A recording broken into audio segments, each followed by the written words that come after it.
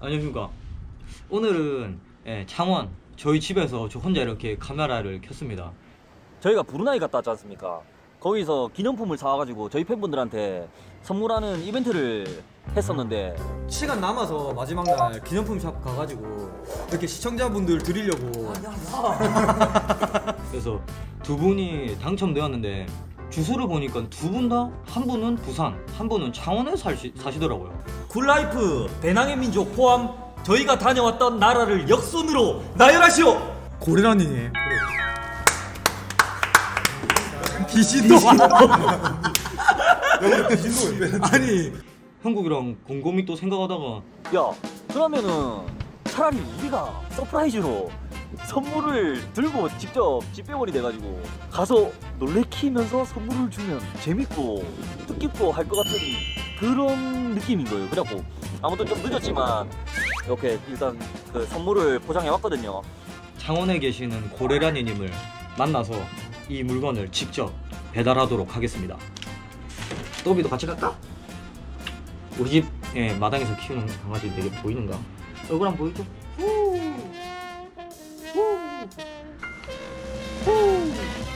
사실 그 창원은 되게 작거든요.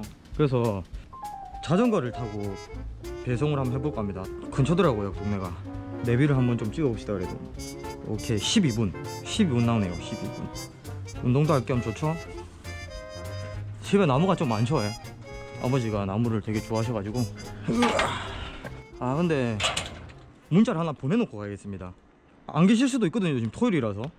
문자를 제가 그 CJ 대한통운 택배로 온 것들을 좀 바꿔서 네. 직접 수령 불가 어려우신 경우 상품을 맡겨둘 장소를 선택해 주세요 하면은 못 만날 확률이 높으니까 대충 아까 전에 택배원인 것처럼 해서 문자를 일단 보내놓긴 했는데 집에 계실지 안 계실지는 확실히 모르겠습니다. 괜히 또 너무 집에 있는가 없는가 집착해서 물어보면 약간 들통날 수도 있기 때문에 빠르고 정확한 즐거운 택배 CJ 대한통운을 이용해 주셔서 감사합니다. 문제를 보내겠습니다. 답장이 어떻게 올지 모르겠네요. 일단 저는 그러면 한번 출발을 한번 해보겠습니다. 예. 가봅시다.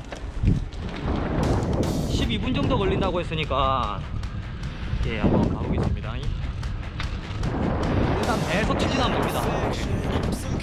이제 봄이라서 푸릅니다, 그죠?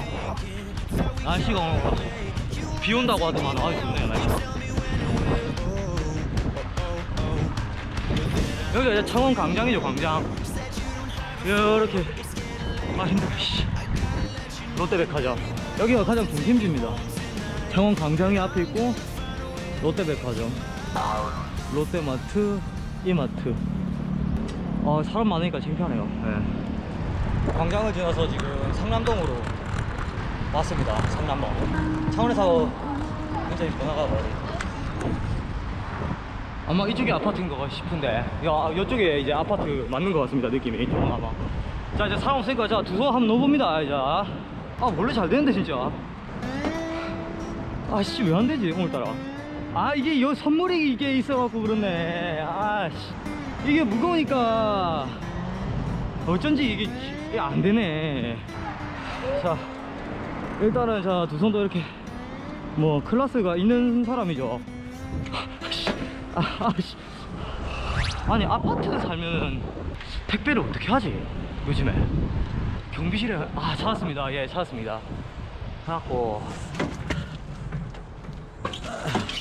아이씨 그래도 한 13분 한 15분 안에 도착했습니다 형국이는 아마 집에서 멀 거예요 사직동이니까 문자는 안 왔어요 제가 그거 직접 수령 어려우신 경우 원하는 시간대 말씀해 주세요 라고 했는데 문자가 안 왔습니다. 그러면은 뭐 있는 있을 확률이 많이 높겠죠.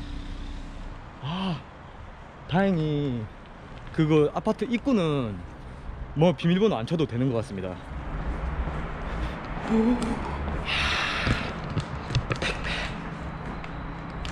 택배. 를 다 그냥 여기 이렇게 놔두네요. 요즘 아파트가.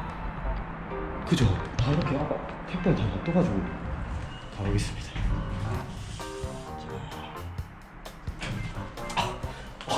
어 긴장돼 뭐라고 이게 긴장됩니다 이거 고래라니님 지금 집 앞에 왔습니다. 괜찮은가 우리? 오. 우와. 으. 아파트 진짜 오랜만에 옵니다. 아파트.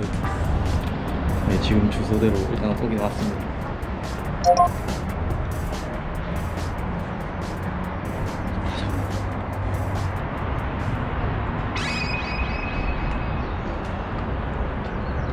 어? 별로 안 걸려지는데.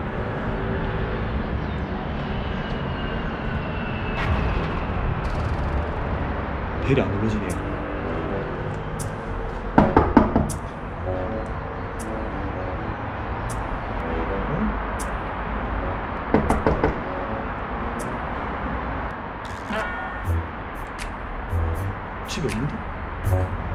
택배 왔습니다.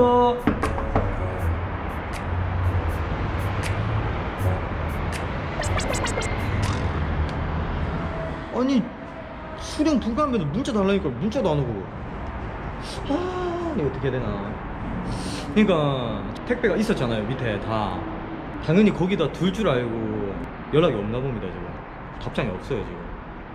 그럼 만날 방법이 없는데 전화하지 않는 이상? 그냥 전화해서 택배라고 하는 것도 웃기고 그냥 저라고 하고 해야 되겠네요 아무래도 일단 내려가겠습니다 그냥 전화를 그냥 전화를 해야 해야겠지 뭐 씨. 전화 한번 해봅시다 그냥 여보세요? 아네 임채용 씨 되십니까? 예, 예. 아그 어디 계세요 지금? 아, 네, 저 잠깐 어, 여행 왔어요. 여행요? 예, 예. 어디로요? 저기 마산 저기 동해면이라고. 네. 예, 그 여기 뭐지 그 마산 바다 쪽에 여행 왔어요. 아 언제 오세요? 내일 아침쯤에 올 것 같아요. 아 진짜요? 예, 예. 예, 어, 어떤 거 때문에 그러세요? 여보세요? 아 네. 예, 어떤 거 때문에 그러십니까?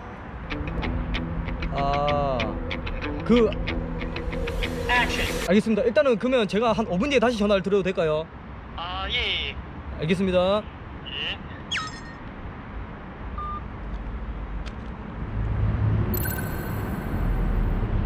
내일 다시 와야 된다고?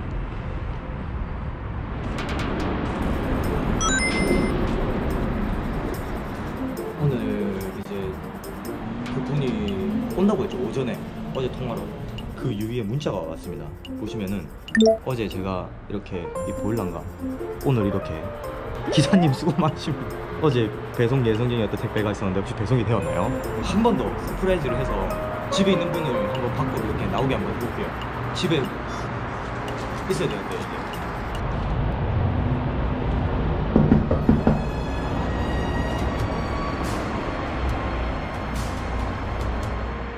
임채용 씨.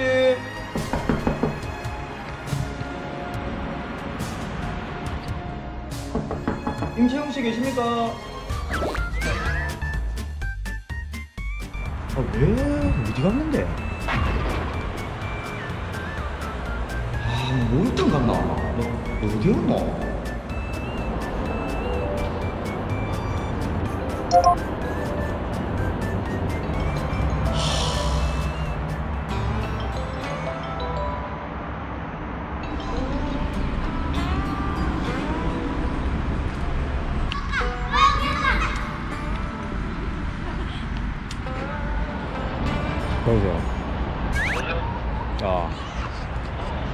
니 출발했나? 나 가고 있다. 어제 내 허탕 친 가 말했지? 갔는데 또 없다 지금. 오늘 어쩌는데? 몰라 놀이터에서 씨, 그네 타고 있다. 아니, 네가 놀 때도 그렇게 하고 있어. 어. 전화도 안 받고 집에도 두드리도 안 나온다.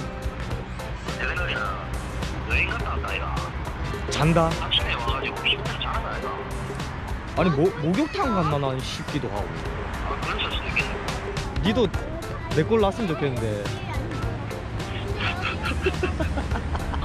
하여튼 가서 니도 보고 해라. 그때 전화해도.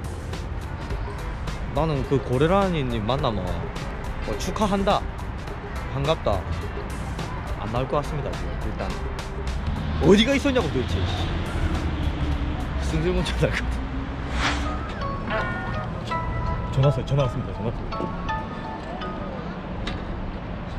여보세요? 아 네 임채용 씨 네네. 예, 그 택배인데 지금 혹시 댁에 계십니까? 아, 예, 지금 되게 있습니다. 아, 이거 예.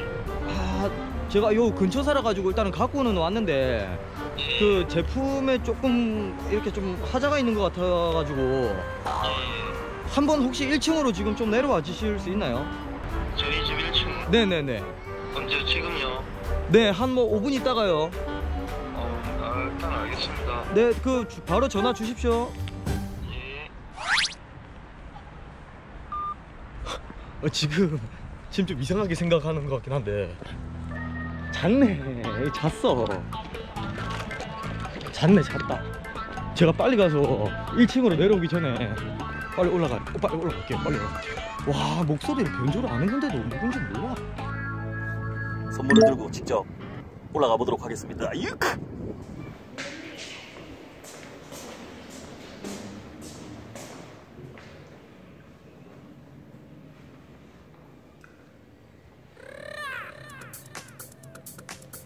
이 집입니다, 이 집. 일단 준비를 할게요.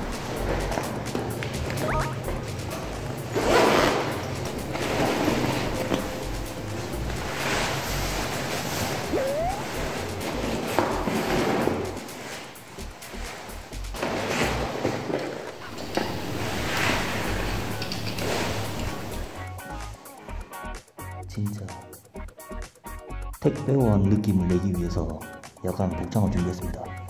그리고 저인지 못 알아보게 가방은 여기 숨겨놓고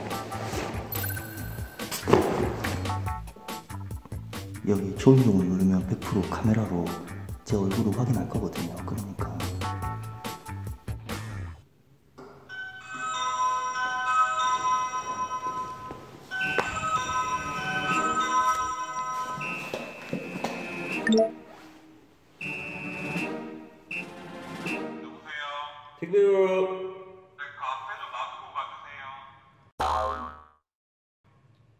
예. 야, 앞에 놔두고 가주세요. 네, 책불인데. 착골이에요? 착골이에요? 예. 아 열쇠고리 착불. 벌칙 아이가? 거의 벌칙인데. 착골이에요? 예. 네, 잠시만요. 예.